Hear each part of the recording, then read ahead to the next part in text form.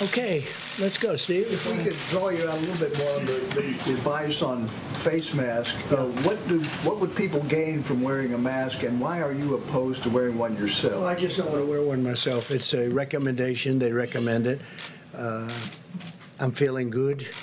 I just don't want to be doing, I don't know, somehow sitting in the Oval Office behind that beautiful Resolute desk, the great Resolute desk. I think uh, wearing a face mask as I greet presidents, prime ministers, dictators, kings, queens, I don't know, somehow I don't see it for myself. I just, I just, uh, maybe I'll change my mind.